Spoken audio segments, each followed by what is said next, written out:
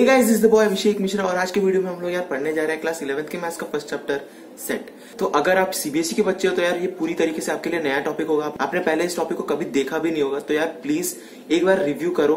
कुछ कुछ वर्ड को समझने की कोशिश करो, फिर जाके इस वीडियो को आओ। इस वीडियो को आप पूरी तरीके से यूटिलाइज कर पाओगे। एक बार कम से कम कीवर्ड्स को समझ लो यार। कौन से कौन से डेफिनेशन है, कौन से फॉर्मूलाज यूज़ हुए एक बार कम से कम वो देख लो। आपको ये वीडियो पूरी तरीके से हेल्पफुल लगेगी। दूसरी बात है यार वीडियो के एंड में सारे का सारे मटेरियल के बारे में हम लोग डिस्कस करेंगे। आप पूरे बेसिक लेवल से एक्सट्रीम लेवल तक किस तरीके से पहुँच सकते हो? सारा स्टडी मटेरियल यहीं पे मिल जाएगा यार आपको। एनसीआरटी सोल्यूशन हो गया आरडी शर्मा के सोल्यूशन हो गया सब कुछ यार यहीं पे आपको मिल जाएगा।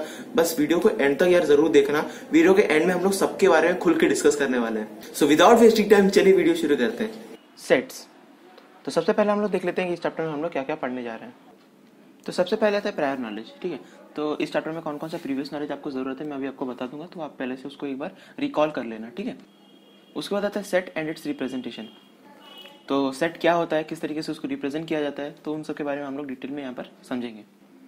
उसके बाद आता है डिफरेंट टाइप्स ऑफ़ सेट्स कितने टाइप के सेट होते हैं, उनके डेफिनेशन क्या क्या होते हैं, उनके एग्ज़ाम्पल क्या है, सब कुछ हम लोग समझेंगे एक बार, ठीक है?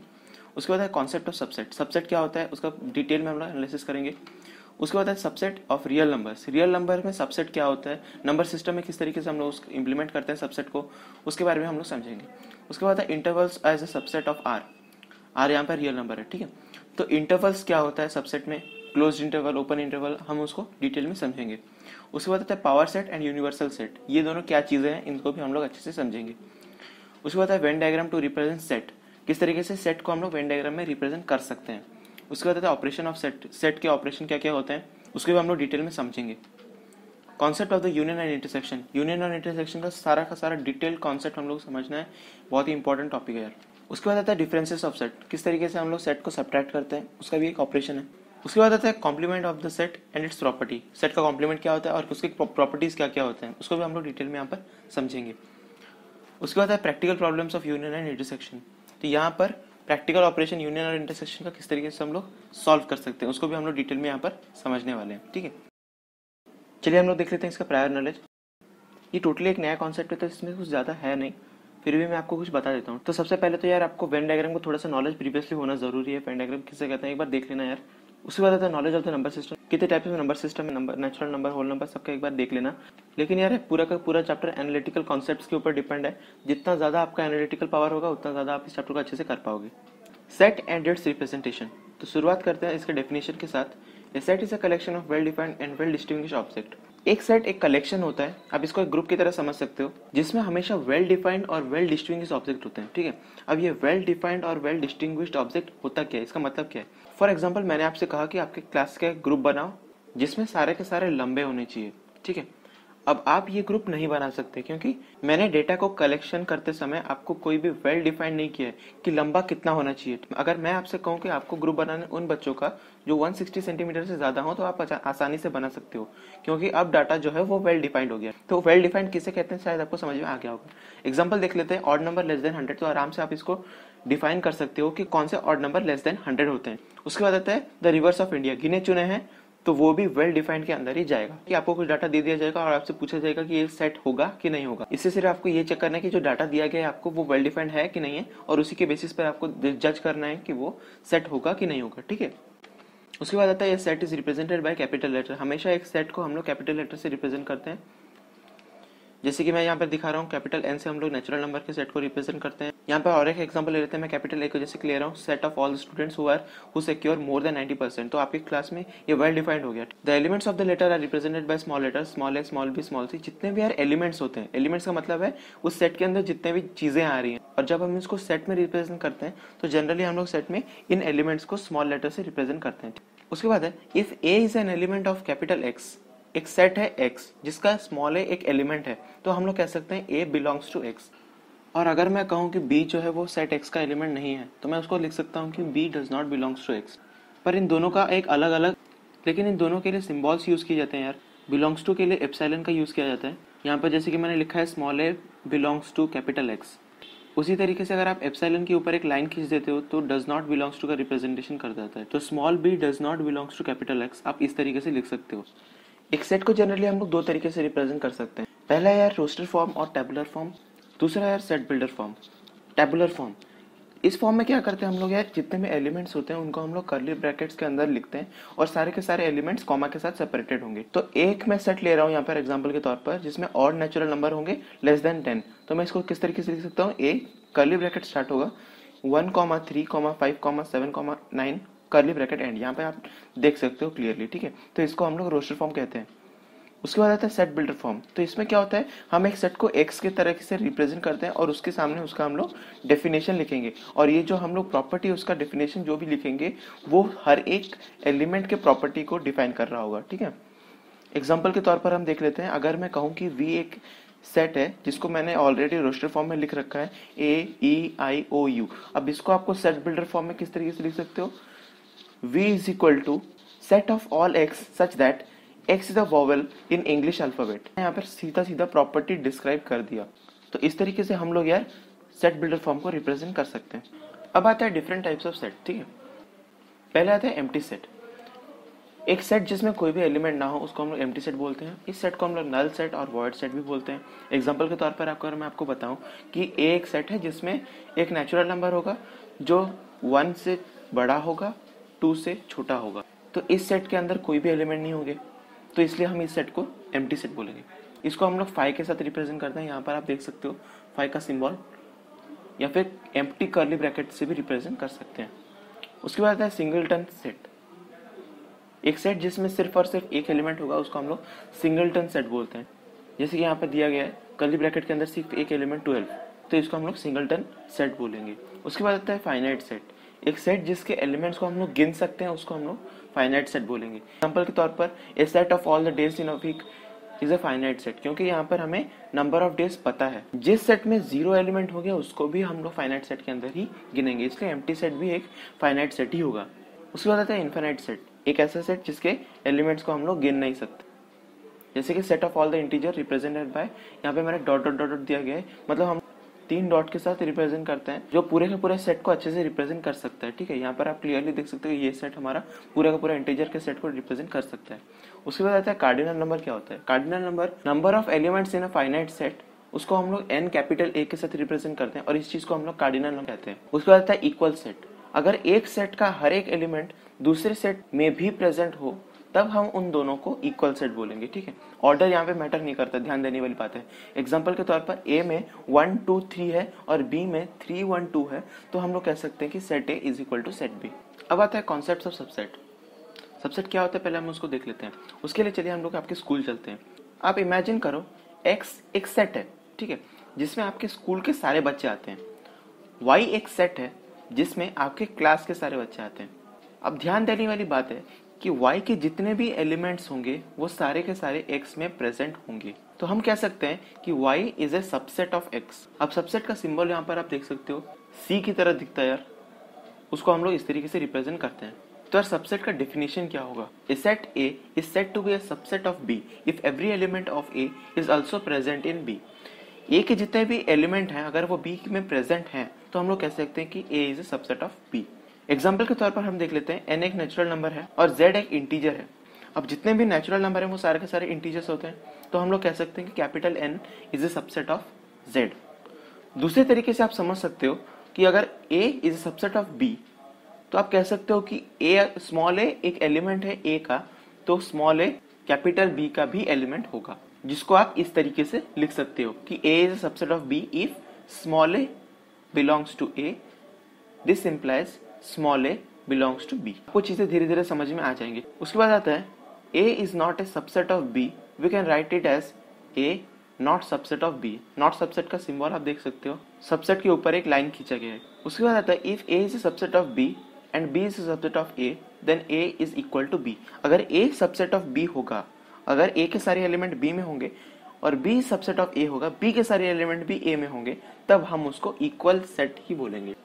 उस केस में A is equal to B हो जाएगा। अब देखो फॉर एग्ज़ाम्पल मैं लेता हूँ ए एक सेट है, जिसके अंदर कुछ एलिमेंट है। अब वो जो भी एलिमेंट है, वो ए वाले सेट में भी प्रेजेंट होंगे। चीज़ें शायद आपको समझ में नहीं आ रही होंगी। ए के जितने भी एलिमेंट हैं, वो ए में तो ज़रूर प्रेजेंट होंगे। इसलिए हम लोग ये कह सकते हैं कि A is a subset of it यानी हर एक सेट अपने आप का भी एक सबसेट होता है।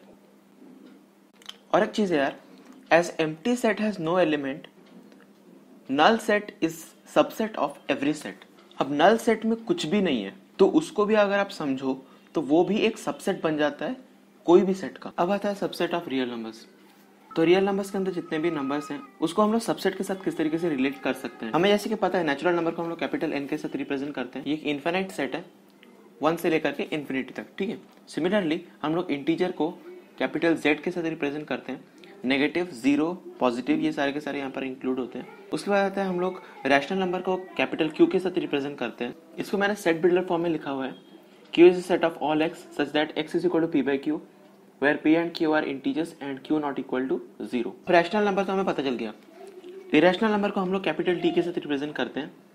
जितने भी रियल नंबर हैं, उसमें से अगर हम लोग रैशनल नंबर को निकाल दें तो हमें बाकी के बाकी सब इरेशनल नंबर मिल जाते हैं। तो यहाँ पर हमें कुछ नंबर सिस्टम मिल गए। अब हम लोग अगर कैपिटल एन कैपिटल जेड और कैपिटल क्यू को कंसिडर करते हैं तो N is subset of Z and Z is subset of Q ठीक है, क्योंकि जितने भी नेचुरल नंबर है, वो सारे के सारे इंटीजर्स होते हैं, और जितने भी इंटीजर्स होते हैं, वो सारे के सारे रैशनल नंबर होते हैं। उसके बाद आता है कि जितने भी रैशनल नंबर होते हैं, वो सारे के सारे रियल नंबर होते हैं। इसलिए हम लोग कह सकते हैं कि Q is a subset of capital R यहाँ पर आर हमारा रियल नंबर है। उसके बाद है T is subset of R जितने भी इरेशनल नंबर हैं, वो भी सारे के सारे रियल नंबर के अंदर ही आते हैं। लेकिन जितने भी नेचुरल नंबर हैं, वो सारे के सारे इरेशनल नंबर नहीं है। इसलिए N is not a subset of T अब आता है intervals as a subset of R तो आर यहाँ पे रियल नंबर है। पहले ये समझना ज़रूरी है कि ये इंटरवल होता क्या है।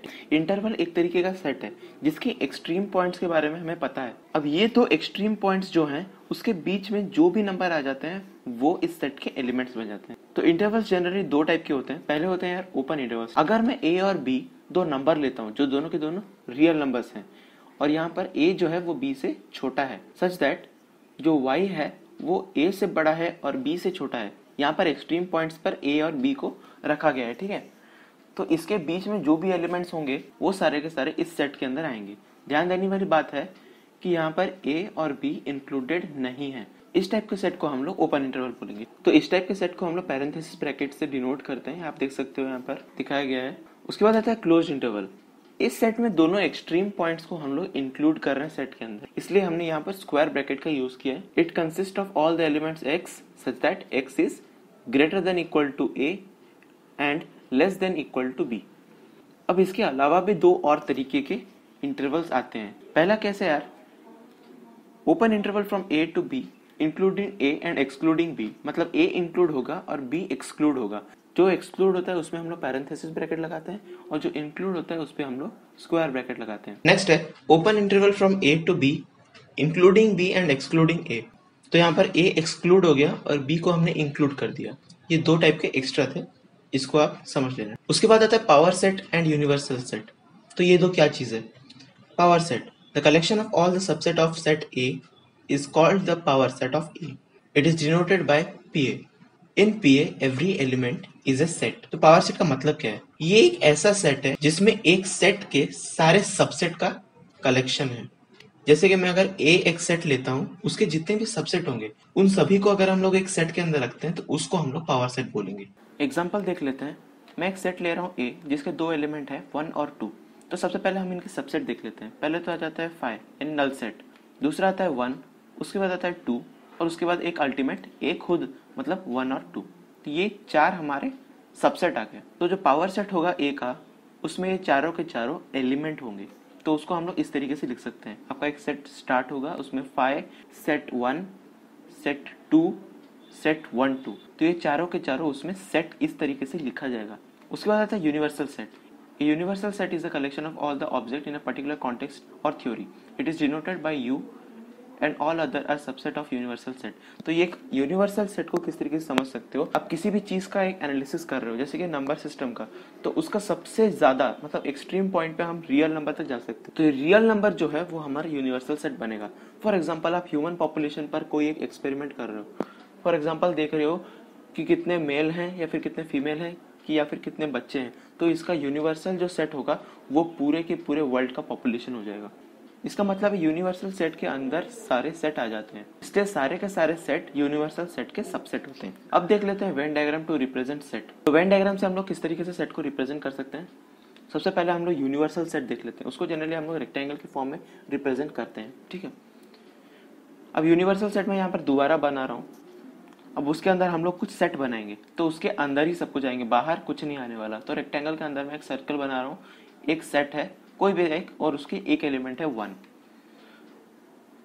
अब बाहर कुछ एलिमेंट्स हैं और उसके अंदर और एक सेट है, जिसके अंदर वन और थ्री दोनों के दोनों आते हैं। ठीक है, हम उसको नाम दे देते हैं ए और बी अब यहाँ पर आप देख सकते हो क्लियरली कि ए जो है वो बी के अंदर है।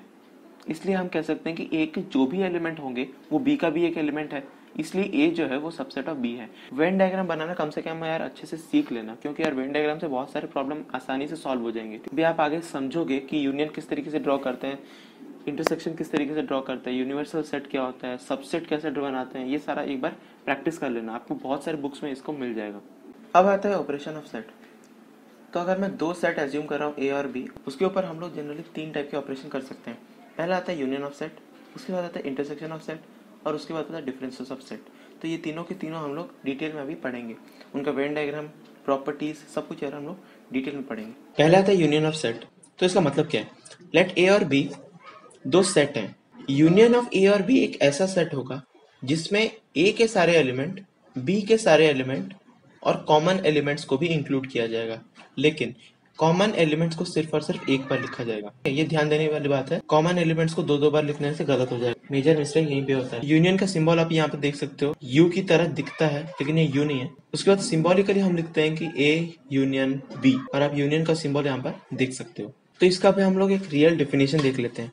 Union of two set A and B is a set C, which consists of all those element which is either in A और इन बी तो यार यहाँ पर हमें एक वर्ड मिल गया। की वर्ड यहाँ पर है और। ठीक है, इस पर ध्यान देना यार, बहुत इंपॉर्टेंट है।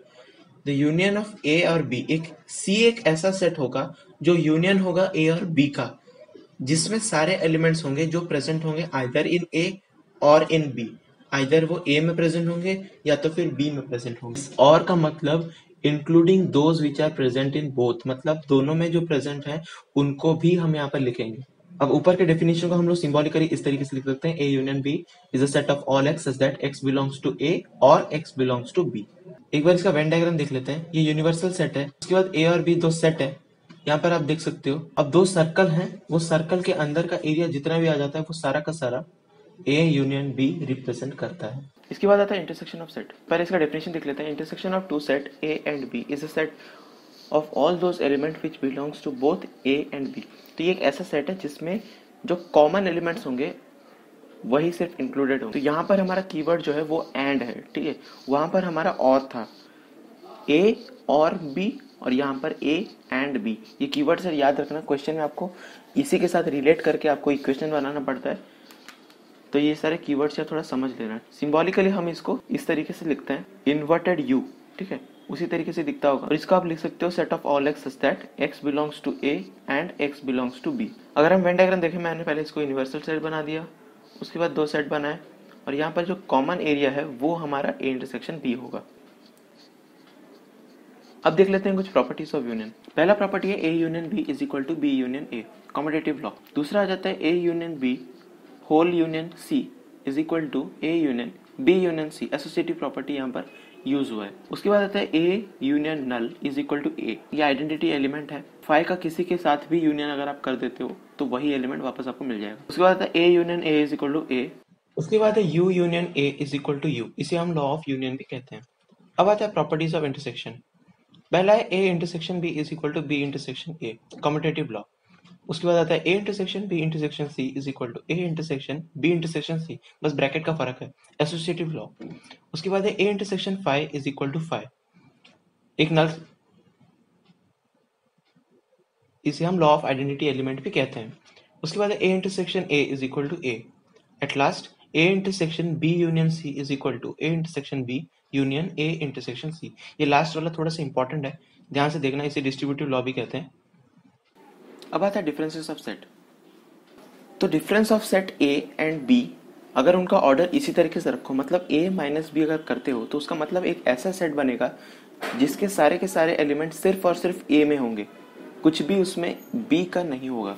सिंबॉलिकली हम लिख सकते हैं कि A minus B is equal to set of all x such that x belongs to A and x does not belongs to b अगर आप वेन डायग्राम में देखो तो ये कुछ इस तरीके से दिखेगा। ये ग्रीन वाला रीजन यहाँ पर जो दिख रहा है, वो आपको ए माइनस बी है। क्योंकि यहाँ पे सारे के सारे एलिमेंट सिर्फ़ और सिर्फ़ ए में प्रेजेंट है।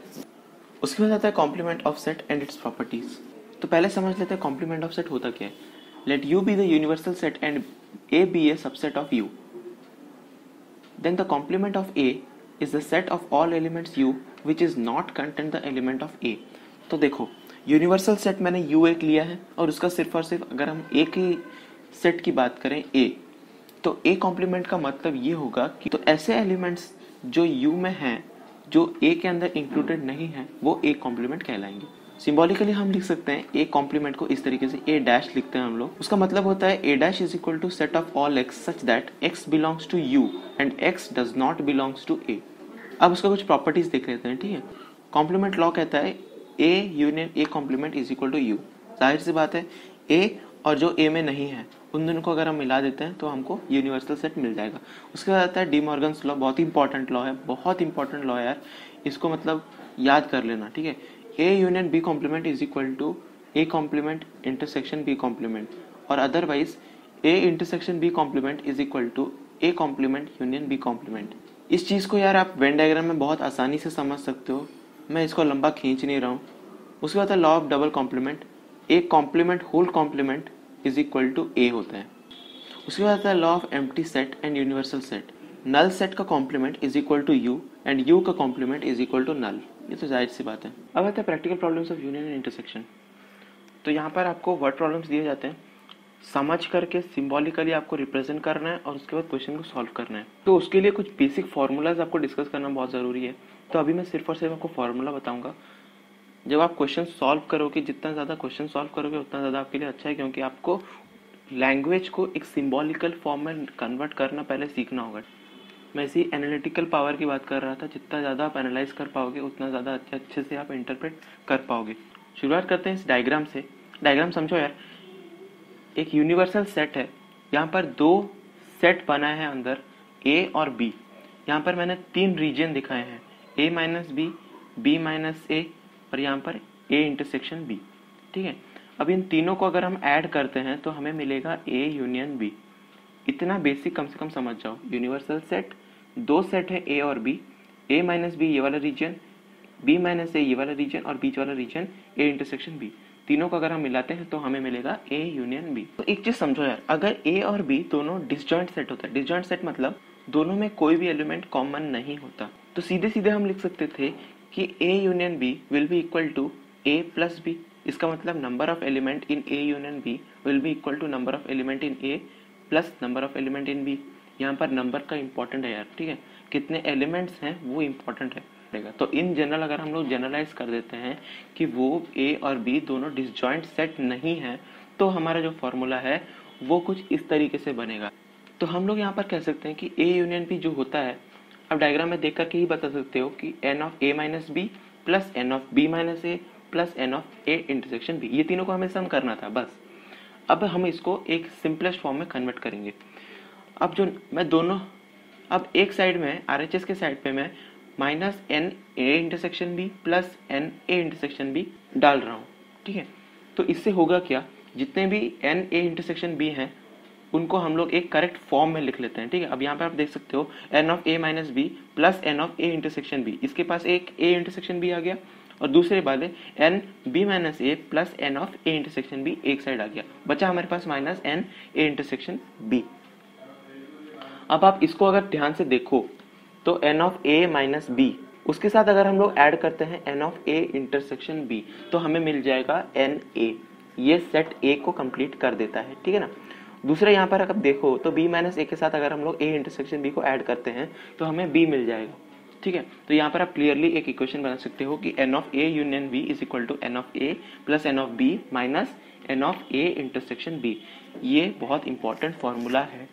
अगर यहाँ पे दो सेट की जगह पे तीन सेट होते तो मैं उसको डिराइव नहीं कर रहा हूँ। उसका डेरिवेशन आपको एनसीआरटी बुक में मिल जाएगा। मैं सिर्फ़ और सिर्फ़ आपको फॉर्मूला बता देता हूँ। N of A union B union C is equal to n of A plus n of B plus n of C तीनों के तीनों इंडिविजुअली आपको ऐड करना है. माइनस तीनों के तीनों को इंटरसेक्शन निकालना है. Minus A intersection B minus B intersection C minus A intersection C plus सभी का इंटरसेक्शन एक बार ऐड करना है. Plus n of A intersection B intersection C किस तरीके से ये फॉर्मूला आया है, उसको आप एनसीईआरटी बुक से रिफर कर सकते हो. एक छोटा सा नया कॉन्सेप्ट है यार, वो जानना बहुत ज़रूरी है. कार्टेशियन प्रोडक्ट ऑफ़ सेट इसका डिटेल आपको क्लास ट्वेल्थ में मिल जाएगा, लेकिन ये थोड़ा सा इंपॉर्टेंट टॉपिक था, इसलिए मैंने आपको पढ़ाना ज़रूरी समझा। तो लेट ए और बी दो नॉन एम सेट हम लोग ले लेते हैं, ठीक है? तो कार्टिशियन प्रोडक्ट का मतलब क्या होता है? Set of all order pair order pair मतलब एक ऑर्डर पेयर में होंगे पेयर में होंगे, बस ठीक है? पेयर में होंगे ए और बी सच दैट जो ए होगा स्मॉल ए होगा, वो कैपिटल ए वाले सेट का एलिमेंट होगा, और जो स्मॉल बी होगा, वो कैपिटल बी सेट का एलिमेंट होगा। और इस ऑर्डर पेयर को हम लोग, जब हम लोग सेट के फॉर्म में लिखते हैं, तब हम लोग उसको कार्टिशियन प्रोडक्ट बोलते हैं। ठीक है? इसको हम लोग ए क्रॉस बी के साथ डिनोट करते हैं। तो यहाँ पर A cross B is equal to order pair A B such that A belongs to capital A and small B belongs to capital B तो यहाँ पर हम लोग एग्ज़ाम्पल देख लेते हैं यार। कैपिटल ए मैंने एक सेट लिया है वन टू थ्री और बी एक सेट लिया है ए बी अगर मैं यहाँ पर कार्टिशियन प्रोडक्ट निकालू ए बी का तो मुझे क्या करना होगा? एक ऑर्डर पेयर लिखना होगा, जहाँ पर पहले आएगा ए यानी ए का सेट ए का एलिमेंट उसके बाद स्मॉल बी यानी कैपिटल बी का सेट का एलिमेंट एक आएगा। तो पहले आएगा वन उसके साथ स्मॉल ए एक पेयर बन गया वन के साथ स्मॉल बी एक पेयर बन गया, उसके बाद टू टू के साथ स्मॉल ए टू के साथ स्मॉल बी थ्री के साथ स्मॉल ए थ्री के साथ स्मॉल बी इस तरीके से ए क्रॉस बी हम लोग लिख सकते हैं। अब अगर दूसरी बात हम देखें कि बी क्रॉस ए भी तो सेम ही होना चाहिए, लेकिन यार दोनों के दोनों पूरी तरीके से डिफरेंट होंगे, ठीक है? तो इसमें कभी भी गलती मत करना ए क्रॉस बी कभी भी बी क्रॉस ए नहीं होता है। तो बी क्रॉस ए क्या होगा?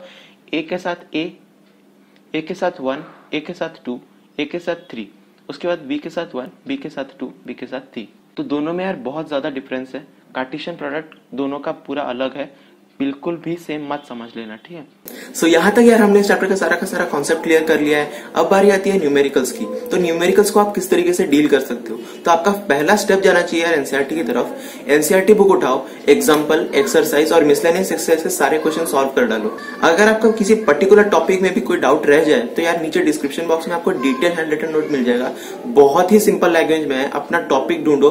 पर्टिकुलर टॉपिक में अगर आपको कोई डाउट है तो वो टॉपिक ढूंढो। उस टॉपिक पर जाओ, उसको खोलो, पढ़ो, सब कुछ समझ में आ जाएगा क्लियर पूरी तरीके से हो जाएगा। एग्ज़ाम्पल के साथ सब कुछ समझाया गया है अब एनसीआरटी में भी अगर आपको कोई डाउट आता है तो नीचे डिस्क्रिप्शन बॉक्स में आपको एनसीआरटी सोल्यूशन भी प्रोवाइडेड है। अब स्कूल एग्ज़ाम्स में यार बियॉन्ड एनसीआरटी से भी क्वेश्चन कई बार आ जाते हैं। तो उसके लिए आपको कोई एक रेफरेंस बुक उठाना होगा। और सबसे बेस्ट है यार आर डी शर्मा। आप आर डी शर्मा उठाओ क्वेश्चन सॉल्व करना शुरू करो। अगर आपके पास आर डी शर्मा नहीं है तो नीचे डिस्क्रिप्शन बॉक्स में इस चैप्टर के आर डी शर्मा के क्वेश्चन आपको मिल जाएँगे। इस तरीके से यार आप अपना पूरा स्कूल बेस्ड प्रिपरेशन कर सकते हो।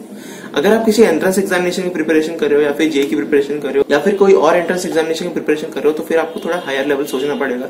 उसके लिए मैंने एक क्वेश्चन सेट बनाया, नीचे आपको डिस्क्रिप्शन बॉक्स में मिल जाएगा। वहाँ पर मैंने सिर्फ़ और सिर्फ़ एंट्रेंस लेवल फोकस किया सेट का हायर लेवल का थोड़ा सा दिया यार। अगर आप चाहो तो उसको सॉल्व कर सकते हो। नहीं चाहो तो स्किप कर देना। बिल्कुल भी कंपलसरी नहीं है। अगर आप चाहो तो करना, नहीं चाहो तो स्किप कर देना।